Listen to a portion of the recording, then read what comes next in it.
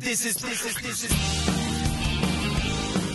Welcome to a brand new episode, everyone. Episode 525. I got a special guest coming up, Jake and the Handguns guys. They're on tour. They're in Texas right now. They thought I was in Waco. I'm not in Waco, so I'm actually going to call them. Uh, before we get to that, first, mxpx.com. We have new merch. We have beer koozies. I'm only telling you this because I have it to show you right here. This is not beer. This is water, people. But we've got a bunch of stuff, really cool designs. MXPX.com, uh, hoodies, t-shirts, the whole nine yards. I love it. All right, thank you for your support always. Um, still working on new music and hmm, something coming soon. I think we'll see. We'll see what happens. All right. Uh, if you want to call in the show, be part of it, leave me a voicemail. The topic is yours to choose. It could be about music, MXPX, about whatever. It could be about you. Tell me a story, keep it interesting. The number is 360 830 6660. Okay? So leave me a voicemail. Would love to have you on. All right. That's it. Uh, MXPX, thanks for your support. Listen to the songs every day. Listen to the new album, Find a Way Home. Listen to all your favorite stuff, whatever it is. Just keep listening, and that and that's what we love. We love to know that people are listening to the music out there. So, and this podcast, of course, right? Yeah, yeah. yeah. All right, let me call these guys. We'll see if Jake picks up. Handguns. Yeah, baby. Hey, Hey, what up? Who's all there? uh, I got Zach. You met Zach before he's the singer of Francis. Remember we did the Francis podcast? Yep. First time we came to Bremerton.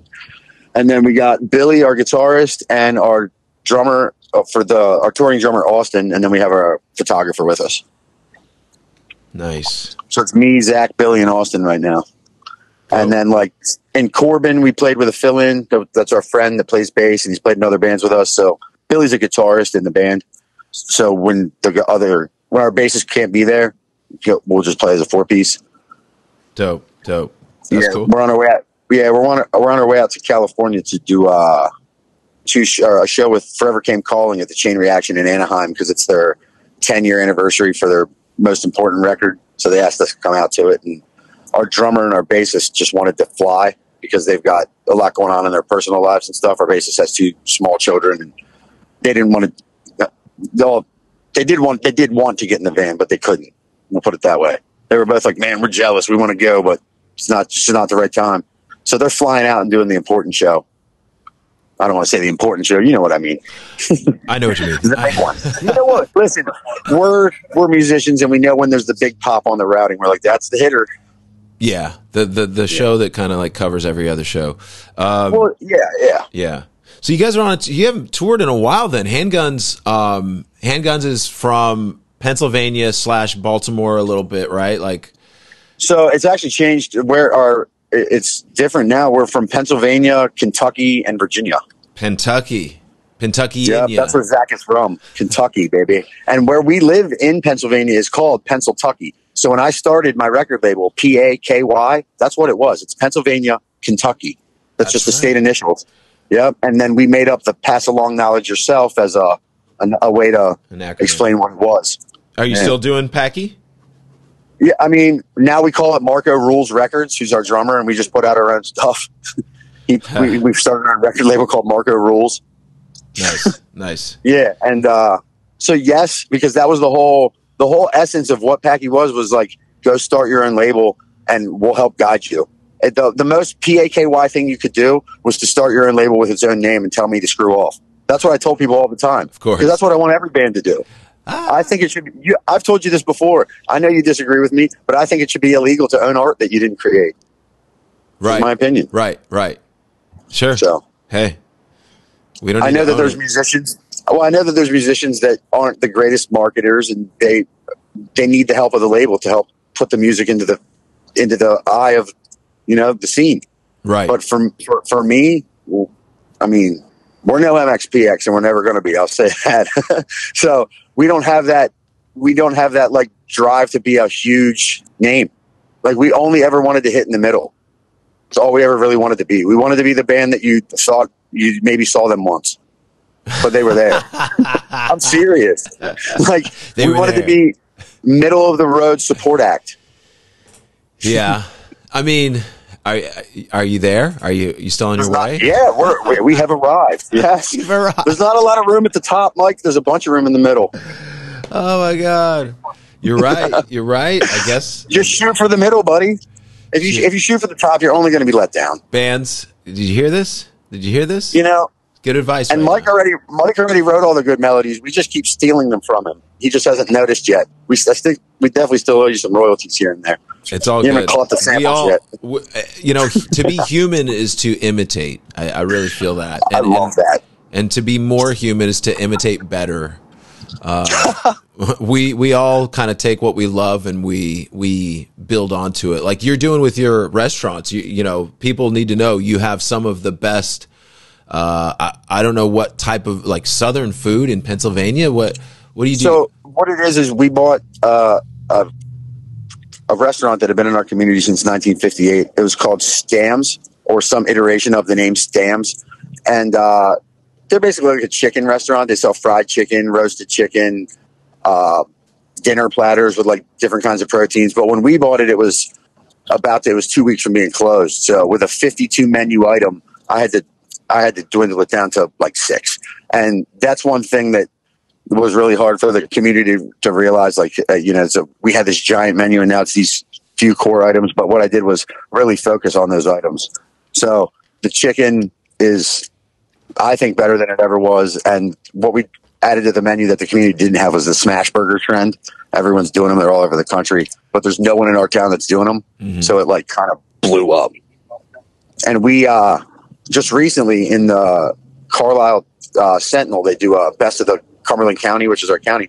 They, they, it's like a reader's poll. They'll say, "Where's the best of a pizza? Where's the best burger? Where's the best hair salon? Any of that stuff? It's like the best of the county." And we won best burger in the county, and we didn't even know we were in the running.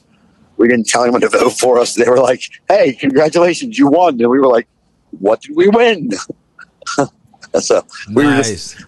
yeah, it was nice because it's like we see a lot of the restaurants will say like vote for us, vote for us. We didn't say that once, Yeah. and we beat Red Robin. The only other burger place in the county that really sells burgers is Red Robin, and we got more votes than them. So did you did you like put a lot of thought into your smash burger, or did you just go, okay, what is what is smash burger doing, and then let's just do our just Yeah, do yeah. I mean, yeah. Honestly, because a lot of the food in that restaurant is very kind of bland and unseasoned. So I use uh there's a line of seasoning called Tinders. They've been around since like the 40s, and they've got some of the best flavor profiles just like in a bottle on the shelf, and that's great uh, as a chef aspect because I got to. If I'm going to put something on the menu and it's going to taste a certain way, it's got to keep tasting that way. So Right. being able to grab it from the shelf and knowing that it's good quality product. So the the seasoning that I use on the burger is different. There's like a dehydrated butter and like a dehydrated Dijon. There's like a bunch of things in it that you wouldn't like if I asked you, you want mustard on your burger? Do you want onions? You'd be like, no. But it's like in the seasoning. So it's like it's all the flavors you would want your kid to try, but they're too picky. Yeah. So we get people all the time that'll come in and be like, they'll order my burger and they'll ask for all their condiments, and I always give it to them on the side because I know. I go, just try it first, and they'll bite it and they'll go, oh my god, I've never had a burger I didn't need condiments for. Well, it's because we cook the mustard into the patty, kind of like they do it in and out. Mm, hmm So you put the sauce on the on the burger as it's grilling. It super changes the profile. The pickles kind of grill a little bit because it's like a burger sauce with the pickles in it, kind of like a a mac sauce or a Thousand Island or a In-N-Out burger sauce. It's all the same: ketchup, mayonnaise, pickles, mustard, seasoning. The art of burgers, because there is an The art. art of burgerology. There's an art to a good burger. Oh, dude, there is, and there's an art to being able to perform it hundreds and hundreds and hundreds of times. Like I gave myself a Bible cyst. I don't know if you know what that is. No. A, a ganglion cyst in my wrist. What? They used to call it a Bible cyst. no way. So like, yeah, because back in the day, you would the the, common treatment for it was to take it and crack it with a Bible. It's like a big. It's like in your joint from smashing. I, I did the math because I have a POS system that counts. In the first three months we put them on, I smashed over forty thousand patties one by one with one hand, Mm, hmm and I gave myself like imagine taking all your weight, putting it on your wrist, and then turning it. That's Yeah. not good for like your joint. You're So going, what I did was I, I had to create an actual tool, kind of like Colonel Sanders created the pressure fryer or McDonald's made their burger presses. I- I had to create a, a different kind of smasher that you can't even buy. I basically had to use like a potatoes, uh, a big mashed potato smasher So I have like I, I smash them with my shoulder, like all the all the pressure Yeah. is from my arms instead of like down on my wrist. So you so- invented a, a, a smasher. Of, Yeah, I haven't put it on the market yet because believe it or not, we're going to take it to a foundry. We have a mm-hmm. friend who owns a foundry, and we want to make it so you can buy them because we're not the only smash burger restaurant in America. And I know this: if I'm facing a problem, I'm pretty basic, and that problem is being faced by hundreds of other people in the world. absolutely. So if I if I create a solution to said problem, well, maybe we can make a couple bucks on the the smasher itself. Get a patent and yeah. Yep. Go go, Yep, yep, go to Shark Tank. Let's go. yeah, baby. What's your Let's do what's it. your that would actually be awesome. What's your Shark Tank pitch? Do you have do you have any thought into that?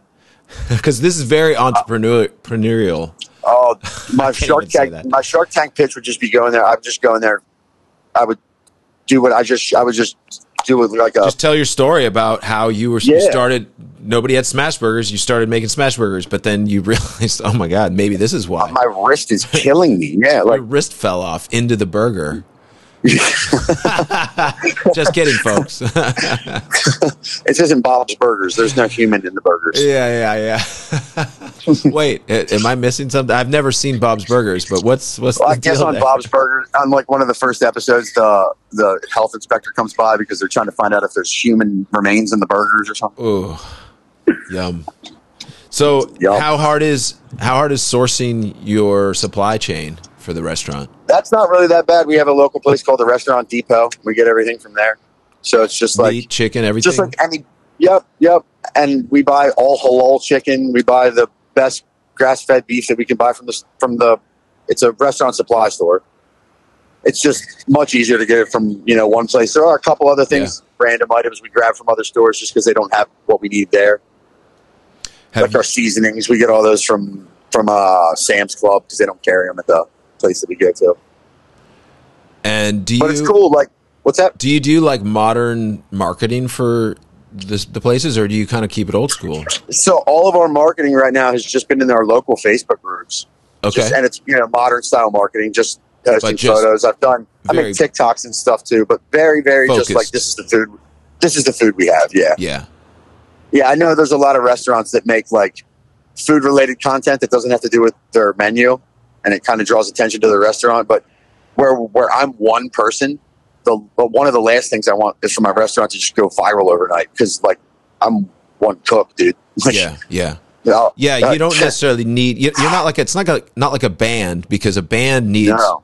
uh, You could have more and more followers, more and more listeners, and it doesn't make Yes. you work. I mean, you do have to work harder when that happens, but but you can let them listen to the song, like no problem. But if exactly. everybody If you wants have a hundred thousand listeners to a song, Yeah. that's great. Press play. If a hundred thousand people want a burger, uh, can we get six line cooks up on? We need we need a couple more grills, some more fryers. You know what I mean? Yeah. We need an assembly line. yeah, you need you So need to. it's not, yeah. That's, you can do one thing. that though. I mean, you can see where. Okay, I see why companies scale because you can. Oh but, yeah. but but to become a McDonald's, you have to cu- start cutting corners. You have to start Yeah, offer- that's offering, exactly. changing up your your products. You know, Yep. And and the other thing we do is we host live music events in a 58 year old chicken shack. Like we let death metal bands and punk bands play in the lobby. On the other side, there's like a spot where we host live music. So That's we've dope. completely added everything we do and everything they do. And also Zach, the singer of the he's the he's the so basically Taylor, the singer of Handguns. This is kind of news too, and kind of an interesting thing and a way that a band would approach a member wanting to kind of step back. Our singer Taylor hit us up and he was like, "I don't." sorry, I don't have the time, but Yeah. I don't want to hold you guys back. So we're like, well, it's a sports analogy.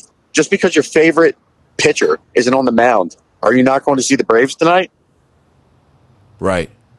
So he's he- still in the dugout. so he's on still- the team. he's still yeah. We play told him he's, not- we told he's like he's like I think I'm going to quit, and, and we told him he's not allowed. Oh, you're not allowed to quit. We're like, what? You know, you're not allowed. He's like, why? We're because there's no beef. It's stupid. You can't quit when there's no beef. That's dumb. So you can take as much time as you want, and Zach is going to come and play these shows because Taylor was like, when we hit him up about doing the FCC show, he was like, I really want to do it, but can Zach do it for me?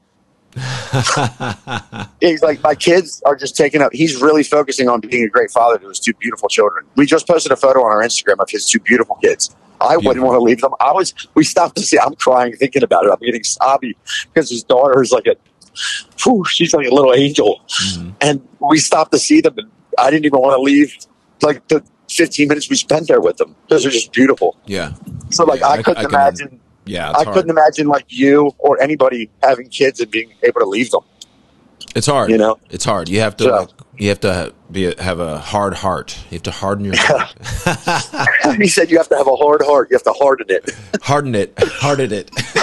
but what's cool is so the other side of our restaurant at being that we have music there the singer of the band now owns two different vinyl record stores i'm actually going to put him out on the phone with you it's zach you talked to him before francis uh, on the francis podcast so he is going to put we're going to put a bunch of vinyl and skate stuff in the other side of the record store or the other side of the restaurant so imagine like if if cracker barrel was a lot more punk way smaller and definitely cool yeah.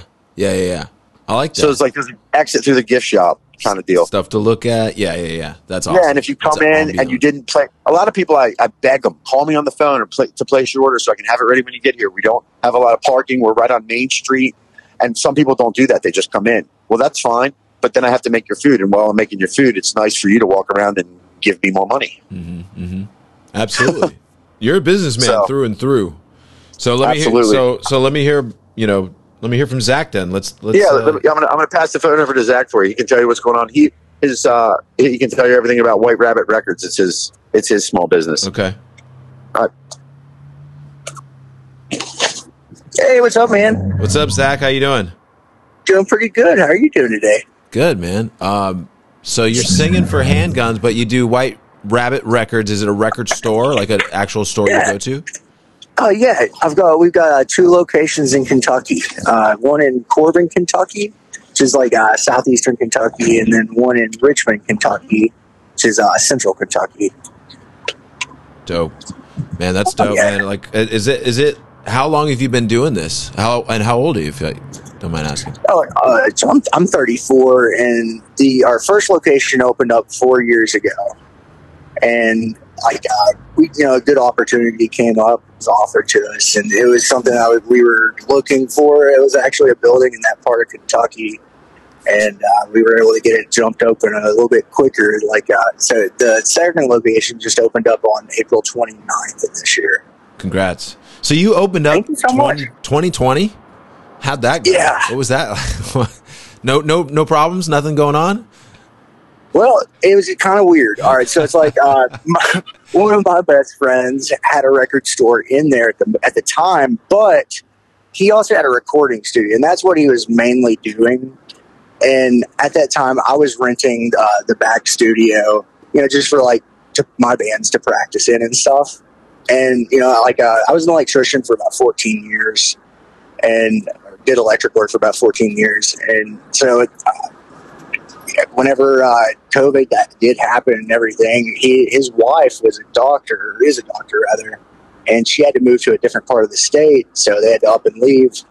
And uh, I just said, "Hey, can you give me the landlord's number? You know, it's like let's see if I can rent the place." But uh, she required, required a storefront, and I don't know. Her vinyl records kind of has always been something I've always collected been into, so stuck to what I knew and then uh, it's like I was doing both jobs, keeping those going. And then in 2021, I had to have a knee replacement, and uh, I just quadrupled down on things at the store. So that's just uh, what I'm into doing now. A knee replacement at 30, 30 you know, mid 30s. How, how Yeah, 30. how'd that happen, man? Was that just a just? Overworking. Overworking? Yeah, yeah, From like the electrician job, you think mainly? Yeah. Or? oh, yeah, just all, a lot of crawling around under houses, under buildings, uh, in the attics, stuff like that. It's Always got like heavy. Just- oh yeah. Anything you do is bad for you. Just don't do anything. No, I Oh, mean, exactly. well, really, uh, okay. the electric stuff for me was always helpful because uh, I don't know the majority of my, I guess, all of my adult life, I've always just you know been in touring bands. Mhm. So with the that kind of construction stuff, it, it uh, kind of pick up a new if I needed to go get work for someone else or whatever. But the company I worked for for so many years was always really cool. That's I just uh, I Yeah. give them like a couple months advance, and I'd be like, "Hey guys, I'm gonna be gone for three months." And they'd be like, "Well, call us when you're back." yeah, he's a good worker, so uh, we'll Yeah. it. Especially these days. I mean, the- what was that? Somebody. Wait for three months. I said criminals, musicians, and construction workers all have the same thing to tell the boss. Hey, buddy, in two weeks I'm going away for three months, but I'm I'm, I'm gonna be back. I promise. I'll be I still have my job. Yep, yep, yep. Absolutely. I mean, I, I've always done it, so it's never been like weird to me to to know people. I know everybody I know, not everybody, but so many people I know have had that kind of life where they they go from you know the road to a side job to this side job, and they they get a good side job. They want to keep it, you know, because you're just like, hey, these this kind of pays my bills no matter what. I can leave anytime. So having those kind of jobs are are really key as a musician Oh, especially when you're aiming for the middle, as Jake says. yeah, absolutely. Right you have a good night every night that way. That's right. That's right. Low expectations. Absolutely. right on. Well, hey, uh, White Rabbit Records, Corb- Yes. Corbin, Kentucky, Richmond, Kentucky. Anybody can go go swing by, say what's up. Um, I love it. I love. Uh, you know, there's there's real record shops here in Bremerton. There's uh, Bigfoot Yeah. Records in Bremerton, Washington. We've got a record store uh, up in Port, uh, Port Orchard, ne- next town up or down. I guess it would be down south. Um, so yeah, we you know our guitar player Tom Wisniewski and our guitar player uh, Chris Atkins. They both are constantly shopping in records. So if we ever were near Oh, you, yeah. you know we'd be stopping. Oh, by. most definitely. For sure. For sure. Oh yeah. Hey, and I've, I've got a live venue in the back too. I don't know uh, how many strings I got to try to pull or something, but just saying, if you ever need a spot, Mike, Hell yeah. Hell yeah. You never know. You never know. absolutely, All right. man. Thanks, Zach. I appreciate it. no problem. Um, Yo, here's Jake. yeah, thanks. Okay. Hey, buddy. What up, what up? So, how active is Handguns now? Are you guys kind of part time as it is? Because you guys are all entrepreneurs, all business owners. Yeah, I mean, I would say part, definitely part time, but we're trying to. We, we just want to start releasing more and doing more because we're our businesses are kind of at the point now where we do have people around us that can work and can help, and and we uh we we I mean we've been working this blue collar bust your knuckles to try and build the American dream. So we just we want to have some fun again. Yeah, yeah, Trust- me. Cooking Jeez. burgers all day. It's it, listen. It's cool to be the guy. People ask how how great is it to own your own business. It's nice to be the guy who says if that thing needs to go, I want it over there. That's nice. But at the end of the day, I have to clean under the fryer. Like yeah, you're putting it over there. yeah, dude, like so it's it's not fun. Like it's not owning a restaurant all day and cooking all day by myself in that restaurant is not fun all the time in in any way at all. Like the worst parts of it are way worse than way way worse than the worst parts of any tour I've ever been on. and the worst parts You know? of it are probably worse than the worst parts of of be, just being a regular employee, Oh man, right? you know, yeah, absolutely. I'd, I'd the rather stress away. If you're, if you're an employee, you just stress. It, your stress isn't gone, but it's a different stress. It's a I need to pay my bills, but uh, Yeah. When you're For me, it's different though when I work when I work because I'm weird. Yeah. I'm weird with who I'm. I'm weird with who I'll invest because I know this. I, I, I, you could take everything away from me right now and leave me with just my time, and I'd still feel like it was the most valuable thing I have left. absolutely yeah. You've got a So, pretty good perspective on that. I won't work for anybody that I don't truly love. So when I'm working for you, I'm stressing with you as the owner because I love you and I'm here for your business.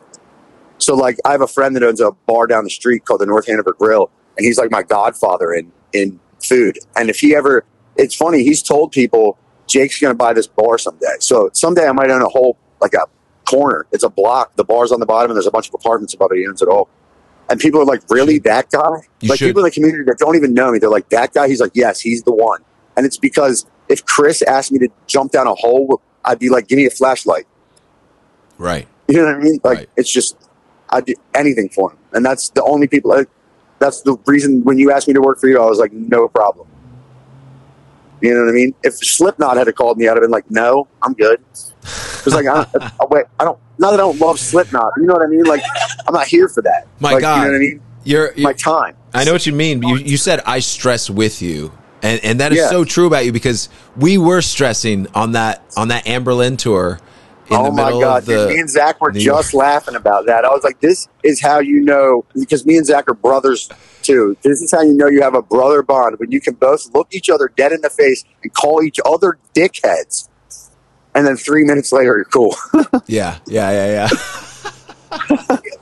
dude, those Yeah, were dude. stressful times. Oh, I gotta say. yes, middle of a snow blizzard, dude. If we kept going down that road, we'd have been marooned. Yeah, we'd still be there. We'd be, we'd be, we'd be, chances uh, are, we'd be Bronc or Bu- Bills fans by now. yeah, we something, dude. We, we would be sharecroppers in Upper Buffalo. We'd be cleaning all the snow off their stadium chairs. Oh my gosh. Well, that's Anyway. that's how they get you. That's how that's how Walmart gets you too. First they get you in with the deals. Next thing you know, you're working for them. For those that, there's probably a lot of people listening that just have no idea what our connection is. And Jake and I, Jake and I met um, in uh, Warped Tour, basically Vans Warped Tour, Yep. 2007, eight, those, a couple of those. Yes, And, and, uh, then and then we when it, it was when you were on the acoustic basement. You were riding on Kevin's bus That's right. because I met you first then, but then we met again when I was working with Man Overboard. That's right. That's right. So we've just kind of like Yep. spent a lot of time together on the Warped Tour, and then and then I hired you to come out for for a couple things, including that Anberlin tour. Jake drove me. We paid for parking all night. He comes back a half hour early in New York City before our parking runs out, and the car's gone. Like we have a show. Predatory toad, dude. What? Like just like we didn't do it wrong. We did it, everything right, and it still get I know. it still get screwed. Yep. So yeah, uh, Yep. those experiences when you have those with somebody. I yeah, you- forgot that. you- you- I forgot about the, the car getting towed in the city. I forgot about that. That was Yeah. ho- that was horrible. And, You- we, and we, remember when we went down there? They were like, "Well, we don't even know if it's here." And I'm like, "I see it. It's right there." yeah, And I and I'm like, "Mike, I have the other key. The, the door, the, the the gate's open. If they don't give me my car, I'm going in there and getting it." You were like, "What?" And I was like, "I'm going to go in there and get my car if they don't give it to me. all right. It's right there." you know what's funny? You were ready to jump in. Were like, "All right." Huh? yeah, You're like, "If they, all right." They gave it to me. Let's try. They're like, "We found it." Yeah, of course you did. It's right there. Yeah, Yeah, it was like three hundred dollars. I had to pay them. so much money for for for nothing because we, like I I said, know. we paid for parking the whole night. I even took photos of the, the spot I was parked in, and I showed the person at the thing, and they were like, "We don't care." Yeah, And then I that looked was into an it, eye it's- they, it's been going on in New York City for years and years and years. It's just predatory towing practices so the hotels can make money and the drivers can get kickbacks. Everyone's trying to make a buck. It's all that city's a hustle, man. Yeah, I mean that's that's You know, that's the world. you could get you could get hustle. hustled. You could get hustled walking walking down Broadway trying to get to a bar. Some guy could hustle you on one of those table games with the ball under the cup. Yep. Yeah, or you know, you could get your car towed. You could have you could have went that way, Jake. You could have been one of those guys on the street with the ball under the cup. Do you know how many people have told me that I am that I am the guy I'm the rappers on Broadway just for pop punk? Mm. Like I'm that I'm that I'm that guy who's outside with the mixtapes. But you're not You know selling. how many times You're I've been not, called Rick to do you know you're how many times I've been called Rick to life? right. You're a seller. You're like you're a you're a salesman. Yes. But you're not lying. You're not like a No. sleazy salesman, like a, I a, don't- a used car salesman. Let's say. no. I do sell used cars though. We, we, we buy we buy and flip and trade classic automobiles because in Carlisle is the biggest car shows in the world. So if you're ever Yeah. looking for an old truck or car, bro, we got we got lines. I might be. I might be. Can you ship to Bremerton I'll drive or it to you. Texas or Texas? Uh, right now, I'm built, right now we're taking the body off of a, a 2007 GMC Denali, and Yeah. we're putting a 1960 C10 on top of it. Nice. We I used to have a around that year Denali. Nice. Maybe it's the same one. Do you still have a vintage car, or was that just press photo stuff for the band? Um, no, no, no. I I've had a, a few different. Uh, I- right I now, no, I don't. Just press. Gotcha. Um, but just a Honda Element, which is still one of my crowning achievements. yes, I have a Honda Yes. Element because of you. Yeah, the, the the the the person who made me want to pick up music and play guitars and be in punk bands drives the same vehicle that I drive because I drove him around in one he loved it so much. Yep. You know it's wild? You also know that that motor is the K24 motor that everybody swaps into the really fast like imports. That's a very It is. It's common import swap. it's a good motor. You can turbo it. Yeah, yeah. It's oh my gosh, dude, you could Yeah. blow you could blow the tires off that thing. you can literally go to 2500 horsepower is in that's neck breaking. That's elite. That's insane. Because it's all wheel drive, and everybody wants Yeah, that. man. They want that. That's yeah. wild. Yeah. I, I love the element. But as far as classic cars go, to put a button on that, I actually just saw the guy that I sold my Skylark to. I didn't, of course, I wouldn't have recognized him, but he saw us. He saw me and Tom. No, it was me and my, Mm-hmm. What my year was your family. but, Skylark? Uh, it was a 65 Skylark. And Hell yeah. it ran it runs great still runs great it was just i don't know why i got rid of it i got i got rid of that and i got something else i got a a 53 no fi, yeah 53 dodge pickup and Nice. i got it for like two Nice. grand got it had it Is restored that the sweat? rebuilt That, that's the sweat. That's the swept line, right? uh Like yeah on the it- side of the. It's got that line that goes down the side of the cab and the no bed. no it was even before that it was like literally Oh, like, I okay. So the fat fender ones. yeah yeah yeah yeah, yeah. Yes. yes. had that modded out painted flat black rotted you know rat rod kind of vibe Yeah. And then I basically kind of like sold it to my friend, thinking, okay, I'm gonna buy this back someday, and like just keep it in the family. And then he sold it to somebody else. I'm like, uh, oh man, like I guess technically, uh, uh, I thought we had an understanding, but uh, you, know, when it comes down him, you got to get him to sign a rights of first refusal. We do that at car shows. yeah, no, you're right. Uh, My when it- buddy has them. He has rights of first refusals. He's because he'll sell my my. He's kind of a business partner. We started flipping cars with this little tag hustle muscle, and he has uh, an actual dealership license. So like, and he's been in the car culture and the car world since you know his early teens. That's like how he started making bread when he was young. Was fixing up old cars and taking them to shows and selling them to old guys and tucked in T-shirts. That's what he always says. We're gonna fix this car up, sell it to an old guy with a tucked in T-shirt. That's what he likes. He likes, yeah. So he he does of fu- first refusals. Like he had this beautiful '52 Chevy car, two door, like light blue. I mean, fat and and all original. I mean, whew. and he sold it to a guy and had him sign a rights of first refusal. The guy still has it. He's like, I'll never sell it to anyone but you. And if I die, my kids know that it's you know you're the ones buying it. You're the one buying it from the estate. It's you. there you go. Yeah, I, didn't, I didn't do that. I don't know. I feel like It's all good. uh, it's all good. It's all good. Oh, And- but and- y'all, you, you, you were asking about handguns. This is a big update good. for handguns. So recently, Pure Noise Records released and sold all their back catalog to Epitaph Records. So we got an email that said, "Welcome to the Epitaph family." you're on Epitaph now. So Amazing. all of the previous, and I'll just say this out loud: we used to publicly sort of have beef and not really like the owner of Pure Noise Records, so we used to kind of slander him. Now, not no more. The guy is as good as gold, as far as I'm concerned. I mean, if, if if it took all that pain and all that all, all that all those fights and arguments to to end with Brett Gurewitz owning all of the music I've ever put out, thank you. Um, do you need your penis played with? Like, um, like, what do you need me to do for you now? I'm so sorry. You get it hard first, though, or I'll finish it. One or the other. Uh, yeah, you, I mean that's cool, man. Epitaph. I mean- they're they're buying up a lot of that that uh, intellectual property from. And it's awesome because he sent our drummer Brett. Brett sent our drummer the the most the nicest email I've like I've ever received in the music industry. It's basically like we diligently pay our bills.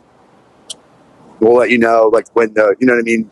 Is it for royalty statements or whatever? Yep, like, yep, yeah. So that's great. what we what we really want to do is put a record together and see if they want to put it out. Right, absolutely. Honestly. you you should Bro, we ooh, you want to produce? run a label. You want to help produce? Maybe. You're the punk rock god, dude. yeah, I'm down. like, yeah, but you know how to write them, them, them stanky punk riffs. You know what I mean? Them, Yeah. them ones that make you want to ride a motorcycle. Ah, yeah. You know, you know what I mean? Motorcycle punk. It's like it got a different. It's it's like I don't even know how to write them riffs. I can play them, but I can't write them. yeah. Why is it motorcycle punk? I wonder. I don't know, but why does it make me want to drop into a half pipe when I know I can't skateboard? Yeah, yeah, yeah. No, dude, I love, I love I love coming up with new shit and like how good yeah, it makes dude, we would love we would we would love to pay you to produce because a- a lot of I mean, this is also a funny fact too, man. The very first time we ever talked, we didn't actually meet. We met through email because we were going to come out to the Monkey Trench in 2008 at the end of that Warped Tour that we had hustled and record with you. That's right. That's right. It's I That was vaguely the very remember first time that. we.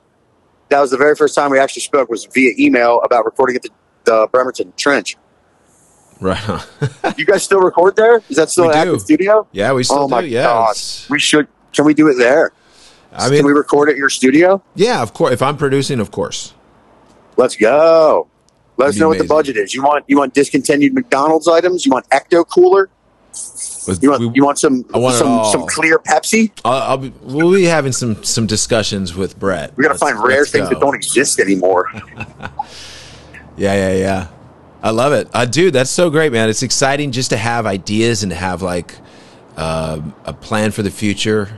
Um, no matter how many times those that plan or plans do end up changing, it's just exciting to have. is a that you trying to easily let me down? No, is that you no, trying no. to easily let me down so that later? all, not at all. I'm just kidding, buddy. I'm just playing.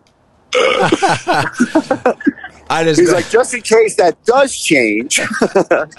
no, I just meant like no matter what happens, I know what you meant, buddy. having ideas, having a goal, having plans is is everything. That's life. It's part of what it's part of what wakes us up in the morning. So there is one Yeah. other person I really wanted to talk to. Our guitarist that's in the band. His name's Billy Trey. He's a really accomplished singer and songwriter, and I want to put him on the phone so you can talk to him. He's in a project called the Converse Kid, and it's awesome. It's like he's a he's from a musical family. Like his his uncle is one of the road managers for GWAR, and his mother is a drummer in like the one of the, the big- his mother's the drummer in the biggest most successful local cover band in their scene Rad. and his, grandfather was is a music historian and been in a bunch of different soul projects. Like they're all just like virtuosos. I'm going to put him on right now. Is that okay? Yeah, of course. Here, here's Billy. Billy, All right. what's up, man? Yo, what's up, dude? It's uh, nice to meet you. Nice to meet you too. Where are you from, Billy? Uh, Pottsville, Pennsylvania. It's a small town. Uh, it's a wild place. Yeah, I've heard. I've heard of it. I don't know if I've been there, but I- I've definitely. We used to get some mail from somebody from Pottsville, like fan mail. It's weird how things can like stick in your mind a little bit. But uh, hearing Yeah, hearing awesome. Pottsville, that's rad, dude. So musical family. Now you, you what? How did you get hooked up with handguns? And you know so, what kind of so? And also, are you an entrepreneur? Do you own your own business? Or are you still still working on that? uh, I, uh, dude, I work in like fast food right now. I make people's coffee in the morning, but I do like. All good. my um, my uncle prints shirts. So like when I started doing my own solo stuff, I was like, "Hey, can you uh, do the shirt designs for me?" And then I went over and we were like working on it together and screen printing, taking hours making tons of shirts for it. And my girlfriend Rachel actually made the logo for like all my shit. Uh, it's like a shoelace that says Converse. I'm gonna get sued one day, maybe, but that could be like the greatest publicity thing that ever happens. You know, Yeah. Right. Right. that'd be wild. But um, how I met uh, Jake and stuff, my uncle filled in on a tour, and one night in Pittsburgh, uh, they had me come up and play Porch Light with them, which was really sick. I've been listening to handguns since I was probably like 15, 14. So to at like 19 years old be playing in one of my favorite bands is pretty amazing. Dude, that's and rad. Jake was Okay. like, now like anytime they go on tour, Jake's like, you want to do it? Marco's like, you want to do it? I'm like, fuck yeah. I agree to stuff before I even know if I can do it because if I don't, then I'm probably just going to sleep it. You know, that's how my brain works. Totally, totally. You just do it and then figure it out. Say Yeah, man. Yeah, that's cool. Hell yeah. Um, Converse But- Kid, though. So what's the what's the story behind Converse Kid? dude, it's all I wear. It's just you're obsessed shoes, with that's Converse? all I wear. Rad. Yeah, dude. My, my whole uh, closet's full of like seven different pairs. My dad and my mom, like like Jake said, my mom's a drummer of a band and she loves punk music. She got me into like Green Day and shit when I was younger. Uh, I said and shit, but it's not shit. It's a, like great music. I got you. Know? I just want to clarify. Um, That's rad. Converse. Like, uh, what was that? I say Converse and, and, and me go way back to childhood. That's awesome. um, before punk rock even i was in fifth grade and i was going to play basketball it was my first year of basketball like pee-wee basketball Hell yeah. it was the chico i don't think we even had a mascot honestly i don't remember it was just chico basketball um, and we all had to go get shoes. So we went out and i'm thinking okay i'm gonna get some michael jordans right? Like or something like that. I don't know if michael jordans Yeah. existed when i was in fifth grade. I think they did though. Um, maybe not. Um, anyway that's not the point. The point is had to get basketball shoes. Everything was way too expensive. That was back in the day when reebok pumps were a thing. You could pump the the shoelace and it pumps up the side of the Yeah. shoe. Have you ever heard of that well, I wanted something like that, and all we could afford was like the twenty dollar, a twenty dollar red pair of high top Converse All Stars. Oh my god. That's what I, that's what I played basketball in. Our, our uniforms That's were all red, and uh, That's so and I I, did, I felt like kind of an outcast because I was at that point. You know, everybody had these like nice shiny basketball shoes. I had 1950s style basketball shoes, but of course, fast forwarding to now, those were the coolest shoes on the court. You know, so. Yeah, no, you, you were rad before it was it was rad. exactly. That's awesome. Man, I didn't know that. Like, I know MXPX. You know what I mean? Like, I played Tony Hawk's Pro Skater. I've listened to punk music my whole life.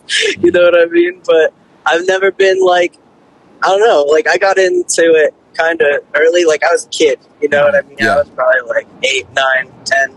So the music that like inspired me and stuff, like Bayside, Smoking Popes, which you guys are playing with them soon or did.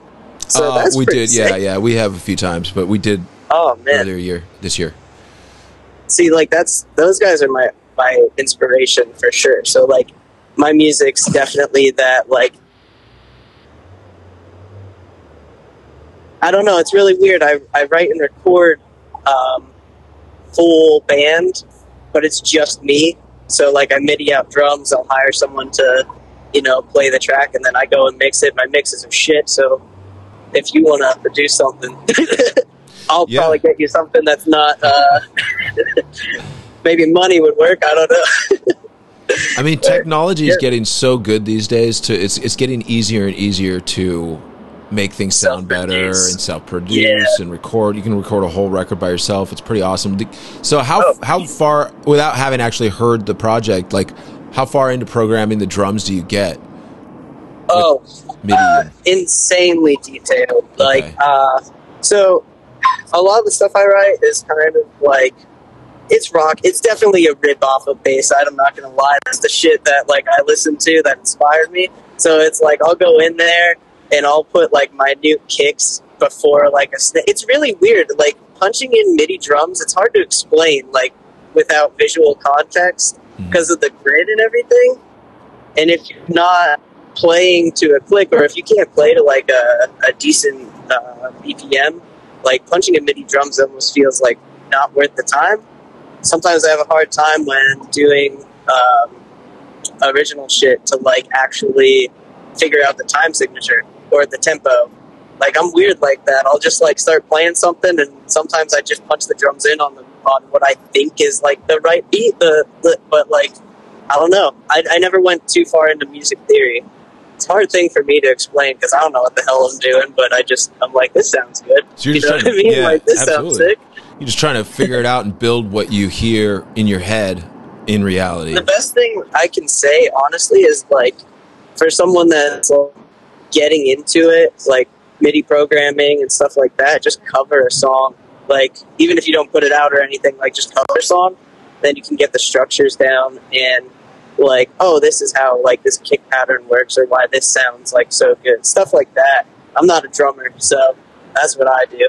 Right. My There- recommendation. there's like multiple projects within the one project because you have to figure out well if you're writing your own song you got to write the song arrange it learn it and Exactly. record it and then do the video and then do the mixing and the editing it's a long process and you're like after all that work i'm gonna get like three likes or something. and, some- and not only that, but it's like just get tired of hearing it. Sometimes I just get tired of hearing my own stuff. I'm like, if I don't put this out, I'm just going to keep working on it. yeah, Like that's the worst thing for me is like knowing when to actually stop on something and be like, this is good enough. You know, like it's hard being one person doing it. Like uh, I recently got my buddy Devin to like learn how to play. I I straight up the last uh, show that I played because I play a lot in PA uh, in the Pottsville area, Wilkes-Barre.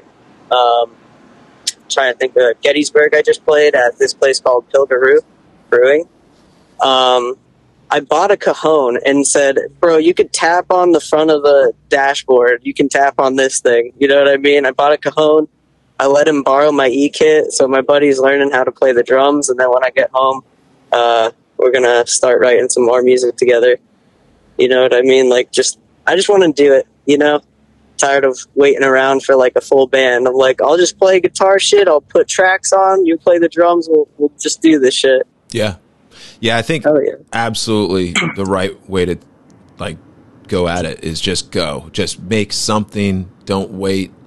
Even if it's not the thing, it'll lead to the thing. You know, you can't. for sure. Yeah, it's like building a house. You have to start somewhere. You have to build that foundation and and just throw some nails and and all that. But I- like it. I like what you're doing. It sounds like you're you know you got some good work ethic and and you're out on the road I with these guys and Yeah, that's, that's cool. I, I do have to put out there though, because if I don't, I'll, I'll regret it. Uh, honestly, the my mom, one of my biggest inspirations, my uncles, my family, and then um, the like the person that got me a lot of gigs doing like my solo stuff, because you know how difficult it is to just get out there. My buddy Timmy uh, plays in a band called Churches and Trains. Uh, he booked me a lot of my first shows and I just I really appreciate that. Uh, I'm just giving I'm just giving like a shout out to him. My buddies in Goblin City Rap Boys, they're a ska punk band. I think you would think they're sick if you ever want to check them out. You know, go for it. They're fu- they're amazing. And uh, uh, my one buddy Gary uh, Jerry. Oh wow, I fucked that up. Uh, in a perfect sky, super cool dude. And a Yellowcard. He just saw them. I just want to put that out there because they deserve a shout out. I'm going to give the phone back to Jake, but it was nice to meet you, man. Absolutely. Thanks, Billy. Have a Yep, good one. Thank you, sir. Good talking. Thanks, Mike. I appreciate Dude, that. Absolutely, dude. Great to hear from everybody. He's a, young, he's a he's a youngster. Was that your first interview, Billy? Yeah, I don't know pure shit. Yeah, that was that, good. that was that was actually very very good for your first He did interview. good. You He did very good. You did. You really did. That's his very first interview. he spoke up. He he spoke clearly. It was good. Yeah. Good. Good job, bud. I mean, when I did, I was on uh, 120 Minutes with Matt Pinfield on MTV, and I, I can't even watch that interview back. It's not that I'm saying anything bad or anything. It's just that I'm talking so slow and so quietly. Just like, God damn it. All right. I got a question, up. and I want to know Yeah. what MXPX song can't you listen to? Going back, you're just like I can't turn it off. Ah, I mean, there's probably a few, but I could, I couldn't, I couldn't think of a name to be honest. I can't think of one, dude. Nah. I can't think of a single one. I love them all. Yeah, I mean, even the Even the ones when even it sounds like you guys are little kids. That's that's me. I love that. even the ones I regret and are cringe. I kind of just, I'm like, eh, Love them. I was a little kid. I love. It's all good. Yeah, exactly. Yeah. Cool. I, I I feel that way about my tattoos. People ask me which one do you which one do you regret? I'm like, what are you talking about? what are you All of talking them. about? All of them. Yeah, every one of them. and I'm getting one tomorrow that I'm going to regret too. yeah, dude. Hell yeah. I just got both the sides of my neck blasted out. Uh, My whole my whole neck is done now. all right, can we can we end with a top five? Um, Absolutely. We can choose between food because you're a food guy. We can choose between TV shows or albums. Let's do that. Or or Your what? your choice or albums like music So you want to go albums, TV shows, or food? Yeah, I was going to go stand up comedians. or stand up comedians, whatever. It, it's your choice. Stand up comedians. Let's let's do top five stand up comedians of all time in reverse comics. order. All in right. reverse order. Okay. I'll go. I'll go five. Norm Macdonald. Norm Macdonald, Chris Rock. Okay. Um, Good. Yep. Casey Rockets. He's a new regular on the Kill Tony show. I've heard the name. Don't know exactly who that is, but I have. You should look him up, dude. I've watched It's- Kill Tony.